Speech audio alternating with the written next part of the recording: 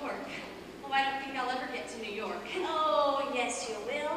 But in the meantime, as my grandpa